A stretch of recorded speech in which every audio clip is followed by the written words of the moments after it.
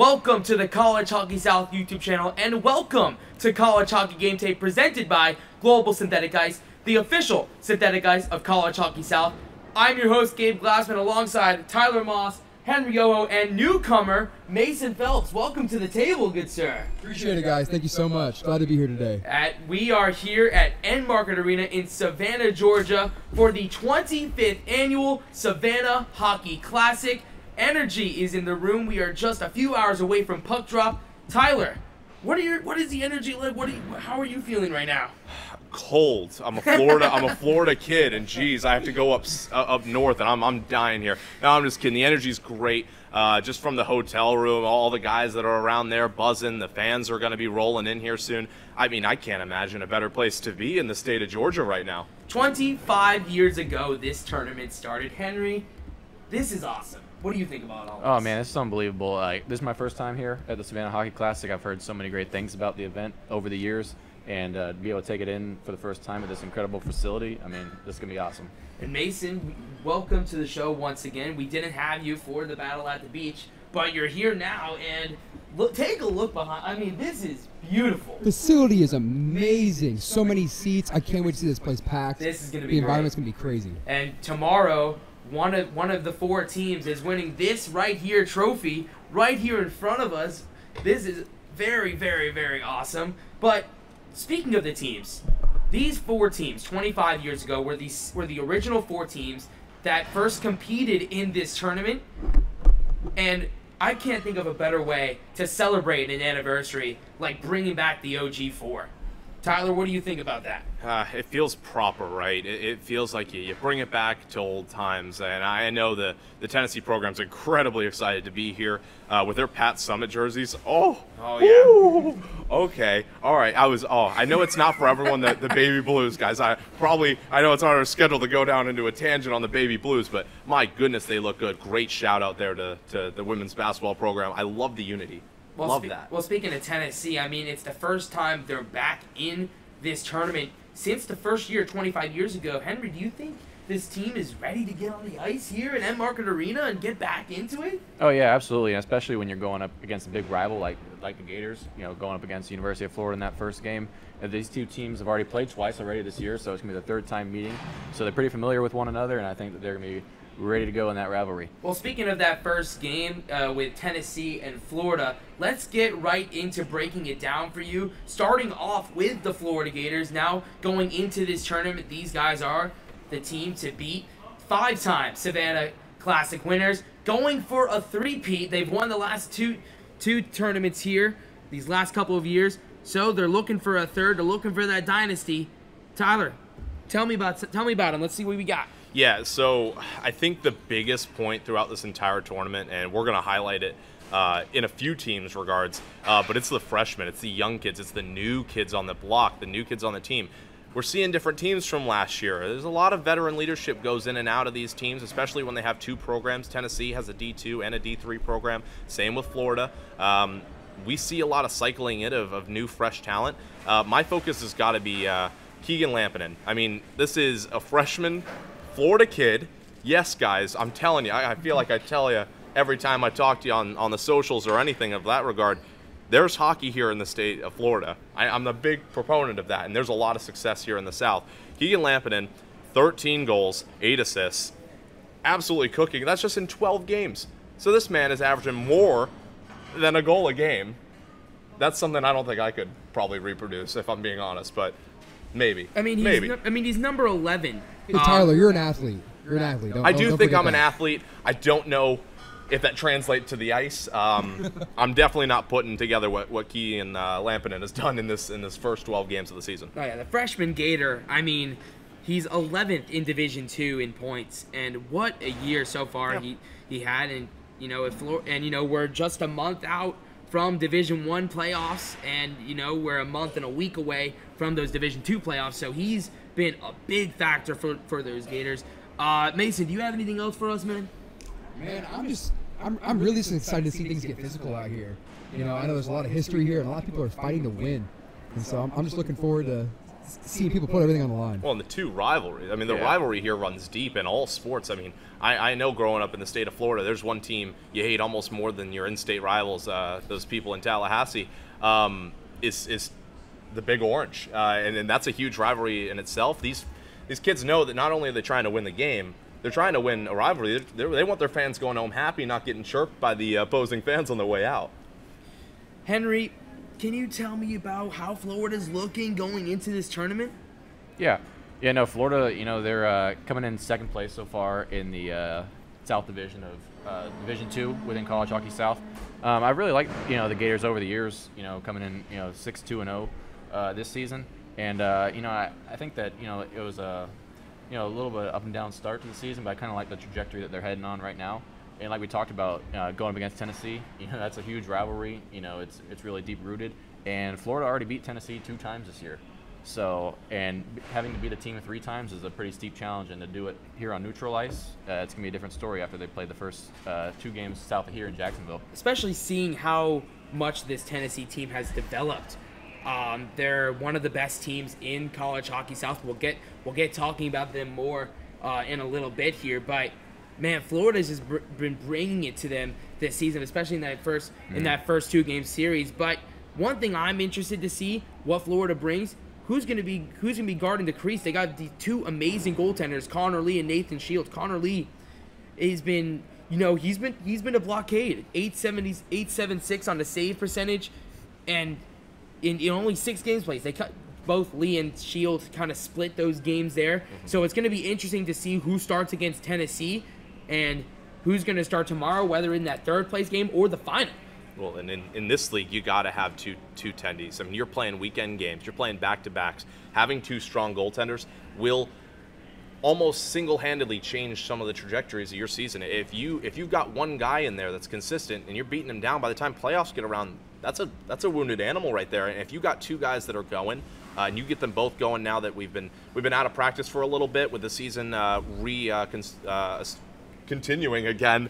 Um, yeah, you got to have a couple going. I want to see that. That's a main point. I definitely think we should focus on is the practices. Not been happening. Can these teams regain the momentum that they had in the fall? yeah, going back on that, coming through the winter break, just come, just jumping right into this tournament. Definitely gonna see something, maybe, maybe something new. Well, anyways, let's move on to the next team in this tournament, and I am talking about the nine-time Savannah Classic champions, the Georgia Bulldogs, the only Division One team heading into this tournament. They're looking for a 10th Savannah Classic championship here. Tyler, uh, sorry, Henry. what do we got going on these guys? Yeah, well, I think you said it. Georgia, you know, they're the top dogs here, and uh, you know, the, as you mentioned, the only Division One team. I think Georgia comes in as the uh, the clear favorite. Uh, you know, uh, you know, no college football playoff for them, but you know, a nice uh, consolation might be the Savannah Hockey Classic. I mean, you know, I couldn't think of a better me. I mean, consolation prize there. I won't lie to you. Do you- Yeah, so- do you take it out on the ice, Mason? I mean, you're you're a rugby guy. Little known fact about you: Do you take this kind of aggression out on the ice if your team doesn't make the college uh, football playoff? Come on. You know that's tough. I mean, don't take it out on social media. That's step one. That's step And, one? Uh, you know, Keep the some money, comment section to yourself. You know, have a good time. Of course, of course. And uh, I just want to highlight one play, a uh, couple players here. Josh Massaras for the Bulldogs has been lighting it up. He's 12th in Division One goals with nine. I mean, they, he's the he's the guy when it comes to goals. But when you look at this team, when you look at Georgia's team, you see, you know, nine goals may not be impressive to some. It's because their team, like the, this Georgia Bull, Bulldogs team, gets goals. It doesn't matter who you are, you're gonna get to the back of the net. And one more player, we talked about this this duo goaltend, this dual goaltender with Florida. Georgia may do it even better because they have Ryan Destino and Nick Newbold, who are amazing. Guys, we're, we're talking tandem goaltending. I mean, in in the NHL, in, in maybe a higher professional type league, um, you're going to get a situation where you have one horse. If you can have a horse and you can ride him, that's great. Uh, but there's a lot of tandems in the NHL as well. I mean, here, this is the league built for tandems. I think. I mean, if you can have two guys going, like I mentioned, it, it's it's going to absolutely take off. I mean, the benefit of being able to switch back and forth, I think it's a, a huge factor, especially for a team like Georgia. I mean, you got two guys with well over a 900 save percentage. 910 and 924. Is that I mean we these guys are not letting any pucks through, and I think it may may tease my pick later. I don't think they're letting very much through tonight either. And this Georgia team is a force to be reckoned with. They're eighth in my hockey rankings, poised to make the playoffs in a month. Henry, what do you, what do you like about this team? What do you like about this Georgia team? I just think that they're just a really deep group. Um, you know, an experienced group too. You know, last year they pull, pulled off the uh, the upset of the tournament at nationals, defeating the uh, number one ranked team St. Bonaventure in the group in the group stage. So these guys, you know, it's an experienced group. They've gone against some top competition and moving up to Division One this year. It's a, a really deep, you know, high quality team, and it's going to be interesting how they uh, come back after the, the rest from winter break. It's definitely been interesting to see, and I can't, and I can't wait to see them play on, Yeah. on this ice later. Just- Mo- Oh, sorry. Quick point. I think I think the the trans uh, the transferring up to the D1 programs. I think they've done a very good job. I mean, we're seeing one in this tournament. I think we could see a couple more next year. I think a couple more of these teams are ready for that kind of jump. Um, Mason, do you, do you feel like like these teams have acclimated fairly well into the Division One? I? mean, I, they're they're doing fairly well competing against with these northern schools that have had these programs. Pretty solid. Oh, fantastic. Good. Fantastic. Good. Making you sure you're us? alert Are you down still there. with us, Mason? I have to. I have to poke you a couple times just to make sure you're still here. I don't know if Mason's here. It was a long drive here to Savannah. Oh my goodness! Talk, talk about I Fantastic ninety. Let me Oh tell you goodness! what. First time in Savannah, I have never seen a better place to be. Come on. all his- historic buildings. It's beautiful out here. Beautiful. And uh, sorry about that winter weather. I wish it was sunny out, but we you couldn't bring it down from Florida, folks. We do Sorry about that, apologize. Yeah, but you know, just just to mention real quick before we move on to talk about Georgia Tech, you talk about moving up and new teams here and there. Well, how about the College Hockey South introducing five new teams coming to the D3? To, sorry, three teams going to men's D3 and two new teams going to that beloved women's division, and then you have a few moving up. You have a bunch of realignment. One of the, one of those I will mention that U Miami D3 D2. Then, then Miami's gonna get another D3 team on top of that. It's it's a it's a great day to be a fan of college hockey South, ladies and Yeah, gentlemen. and, and Miami did a great job rebuilding, kind of restarting with their program. A little bit above, playing above water last year, just barely floating. Step down, re- regroup yourself together, play some great hockey, jump back up. You're ready for it now. They're ready. They're ready to be back in that D2 division. Bring in a D3 team. I'm, I love it. I love it. I love all I love every bit of it. Now let's just move on before we get too sucked into that subject. I'm talking about Georgia Tech, the eight-time Savannah Classic champions, going into this. And guys, 25 years ago, this Georgia Tech team, they were the team that started it all, the, the inaugural champions. Henry, what do you like about this team? Yeah, well, Georgia Tech, it's been a, a bit of a rough season so far, you know, coming in with just two wins on the season. But, you know, coming out of the winter break, like we've been talking about, you know, it's a chance to hit the reset button. You know, it's a, a neutral site, playing here in a tournament uh, environment, and going up against your rival. Like, it's a it's a great opportunity to kind of get a fresh start on the season and kind of start anew. Absolutely. And Mason, you know, you're an athlete, you're a rugby guy. And when a team is down, you know, this Georgia Tech team, like Henry said, has been a little bit lackluster. So they're looking for some magic late on in this season. When a team is down, what's the message in that locker room to keep going? Usually it's a believing in your coaches and uh, believe believing in the guys beside you. You know, I'm, I'm, I'm a big guy for underdog stories, and I I really think whenever you're representing yourself in your home state, something as big as this tournament, I really think they're going to bring it today. Tyler, who's one player that has just been outstanding for Georgia Tech?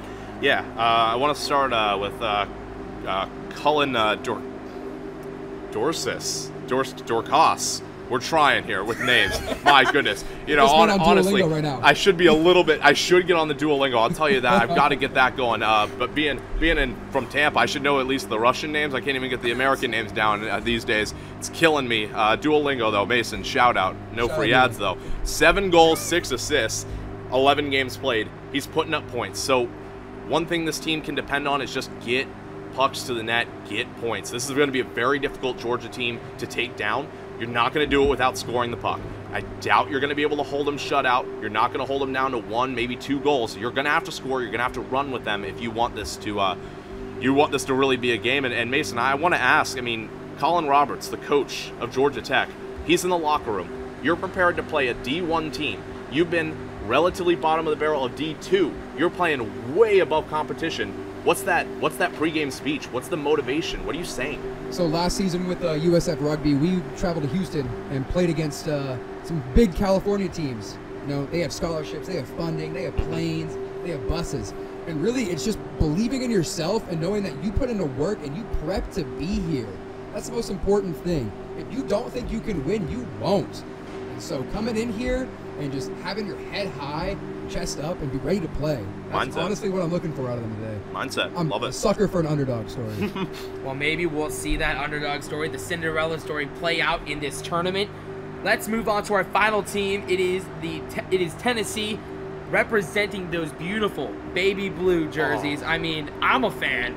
I I'm so sad we couldn't get one up here on set, but Come on. you're gonna you're gonna see them later on the ice. They're fantastic. Beauties. But going into the actual play of Tennessee, it's their first year back. It, it's their first year back in the Savannah Classic since the first tournament 25 years ago. So they and they didn't win. Georgia Tech won that. So they're still looking for their first Savannah Classic championship. And guys, I think this is the year Tennessee pulls it out. And let me tell you why. That's they got this. They got this guy named Connor Frazier. Mhm. Tw- 16 goals, 12 assists, 16 games. That ranks first in goals, Come on. second in points. Come on. He's going up for MVP MVP talks right now. He's been unstoppable, just like his team. I mean, what more do you want to see from Tennessee? What more do they have to do to clinch this trophy right here? You know what Connor reminds me of? Funny enough, he's coaching on the bench now. He's wearing a suit like us. No longer in, in the in the jersey, no longer in the sweater, uh, the gear, none of that. He's actually on the bench, and it's their past captain from last year's team, Drew King, their current coach. Amazing leadership.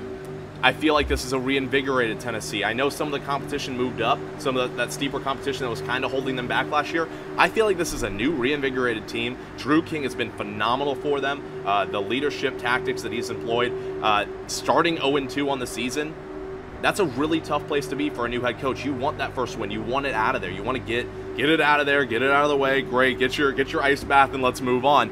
Um, really difficult. But then when he finally got his first home game back in early October against USF, when he put a whooping on those team that team from South Florida, ten to one.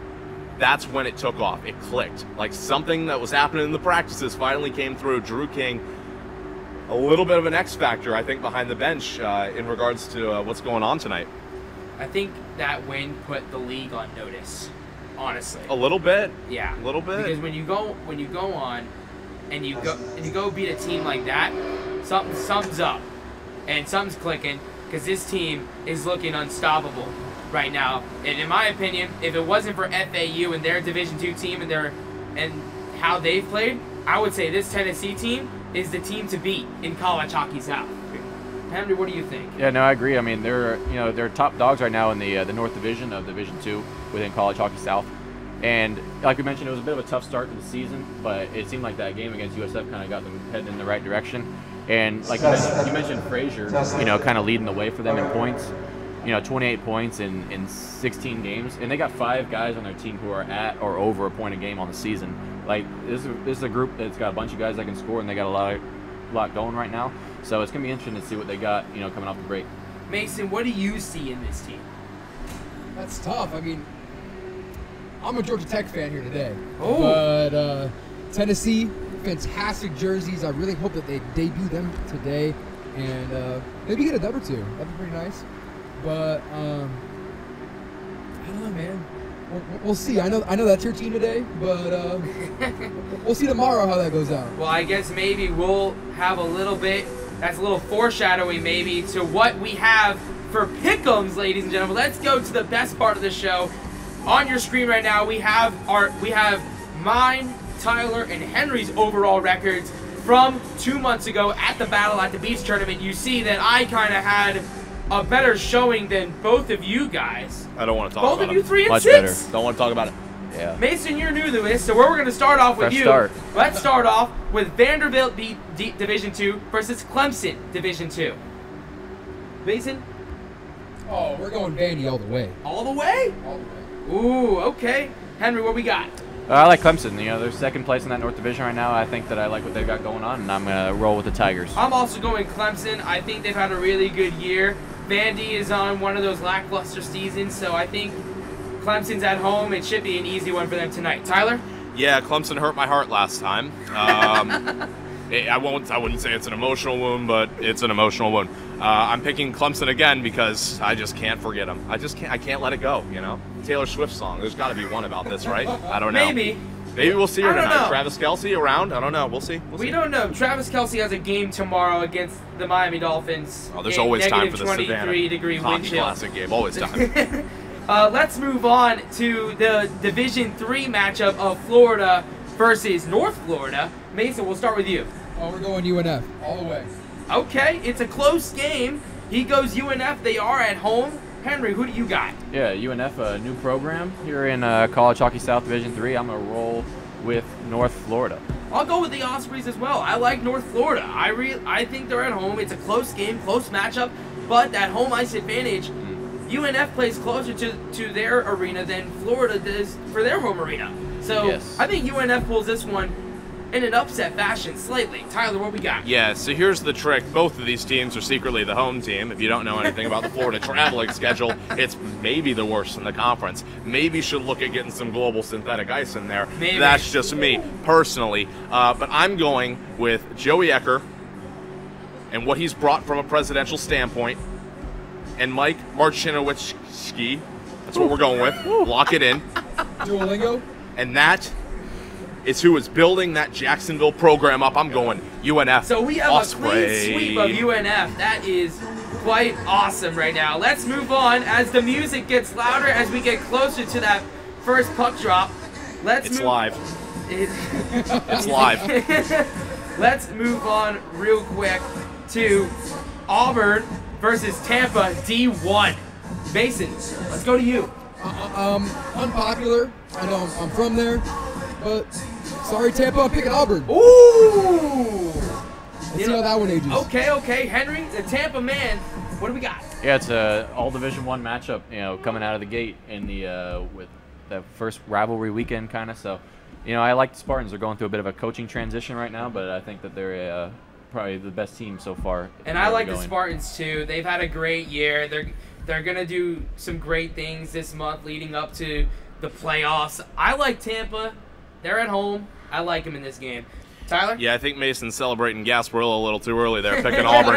Uh, I got to lock in the Tampa D1 program. Seems like a fair lock to me. Mason, Uh, alone, huh? I feel like it's kind of a, a one-sided chip here. it's okay. Stand on the island, buddy. Hey man, I'll, I'll stand where the winners are at. Come on. Well, Whoa. Whoa. well, let's see where you're at with this one. We're going out of conference here. Farmingdale State Division One versus FAU's Division Two team. Mason, what do you got? So I'm gonna pick Farmingdale. You know, my, my grandparents, they're farmers. That's where I grew up. So I mean, gotta gotta go. Is that the your name. basis on this That- That's a game pick right there. I'm, I'm a little concerned you might not know where Farmingdale Oh, State I- I College know is. Farmingdale at all. Yeah, I'm a little concerned. We're not talking Kansas anymore, Mason. buddy. We're talking upstate New York, buddy. It's a little different. Uh, my pick, um, come on, I'm staying in the state of Florida. It's been my biased all show, FAUD2. And I am liking. Uh, I am also liking FAU Division Two. Um, I think they pull it out.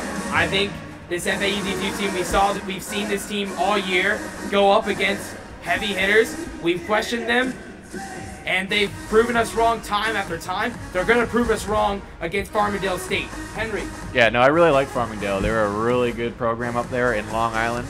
Um, but you know, I gotta ra- wave the flag a little bit for College Hockey South, so I'm gonna roll with Florida Atlantic. All right, all right. College hockey, college hockey South representing here besides Mason, uh, Farmersville over there. Well, love, gotta support the local farmers. Well, let's move on to that mighty, mighty women's division. It's Georgia versus Auburn. Guys, Auburn's still looking for their first win, and they get it.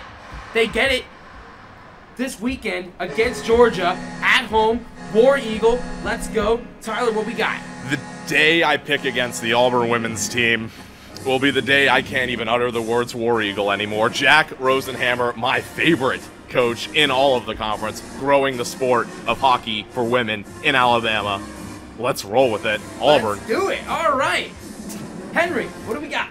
I mean, we're in the state of Georgia, so I gotta go. You're with, going with the hometown team? Yeah, I gotta go with the, the, We're the right next dogs. to All them. right, Oh. boy. we gotta go with the All dogs right, on Mason, that what one. we got? You know, I picked them once and I'll pick them twice. I'm picking Auburn again. Here we go. It's going to be a great weekend over there in Auburn. They're they're throwing those toilet paper on the trees thing. Oh, yeah, it's gonna be- Groomer's corner or something. I don't know. Auburn may storm the ice after this. I think they're I think they're gonna have a great game. Let's move on. It's we're moving out of conference again. Northwestern ACHA D3 versus the Tampa Spartans Division Two. Henry, we'll start with you this time. Let's Yeah, go. no, we gotta, you know, we waved the flag already for College Hockey South. We gotta wave the flag again for AAU College Hockey Tampa D2 all the way You see this logo right here. You see it right there. I'm going Tampa D2 over Northwestern. Uh, you got to represent, but once again, it's.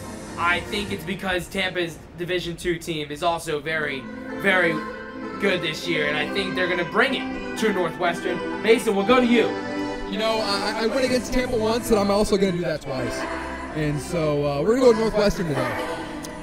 Okay, Tyler, what we got here? Mason, I'm a little concerned you may be geographically biased here. Um, we're, we're picking the farmers. We're picking the Northwesterners. You know, I- man, I'm a bull. I, I- I can't root for inner city rivals. You know? Hilariously, how northwest is the state of Illinois? Couldn't couldn't tell you honestly. I'm going with my second Jack pick for coach Jack Walsh and the Tampa D2 team. Thank you. Good luck. All right. Well, Jack let's Walsh. move on to what I think is the game of the week outside of this Savannah Classic. It's a Division One rivalry, South Carolina versus Alabama. Man, Alabama's been in the news recently, huh, guys? uh, but they, but you know, I think they make headlines again because they're because they're beating South Carolina this weekend. I'm taking roll. I'm taking Alabama roll tide. Mason, what do we got over here? You know, I'm going to be with you on that one. I'm going to take Bama. You know, big loss, but uh, they need one this weekend. They really do. All right, Henry. Yeah, this is a great matchup. You know, we had the other Division One matchup with Tampa and Auburn. We got another All Division One matchup. Uh, I'm gonna take South Carolina. I'm gonna roll with Cock Hockey on this one. All right, Tyler, what do we got? I don't want to get too cocky with my pick. Oh. Oh, I hate it just as much as you do at home. I'm gonna go South Carolina here. Lock it in. Okay. So with that with that all set down, guys, it is time. Savannah Classic. Pick'ems. It's time. SEC Showdown. We're gonna go real quick. The SEC Showdown. Ten- Tennessee versus Florida. Mason, go. Tennessee, all the way. All right, Henry. I'm going with the Volunteers as well. Let's let's go Tennessee, baby.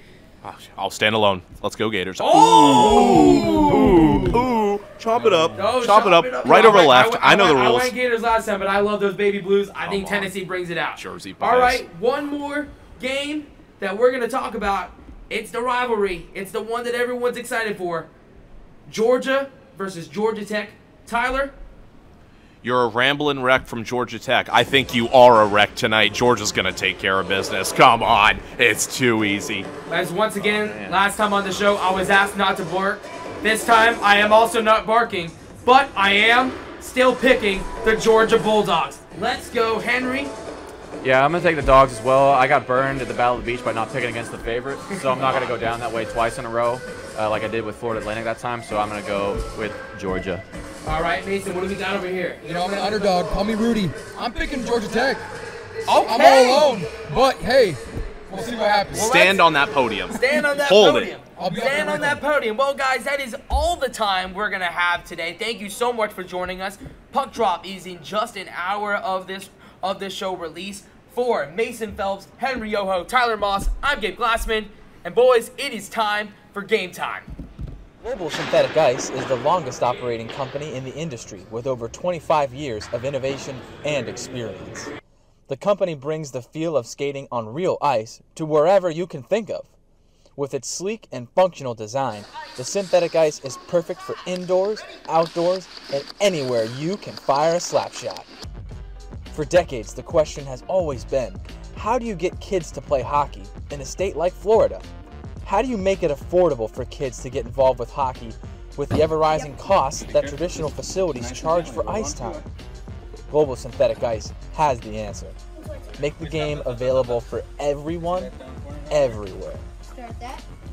Six time Stanley Cup champion Mark Messier, Tampa Bay Lightning captain Steven Stamkos, and old Lightning fan favorite Marty St. Louis are all big fans of the product and how it can help bring hockey to kids everywhere. There are glowing endorsements from NHLers and referees, which should show how a product like this can make change. Even legendary referee and analyst Kerry Fraser loves the synthetic stuff. He says, Oh my gosh, it's just like real ice. Global Synthetic Ice has helped grow the game through innovation and enables more youth participation and skill development. Thanks again to Global Synthetic Ice for sponsoring our Battle of the Beach tournament. Here's to a great weekend. I got to tell you, I'm really pretty nervous. This is the first time that I've stepped on global synthetic ice. I hear that it's the same as real ice, but I feel like Bambi stepping on the legs for the first time. Let's check it out, and I'll get back to you.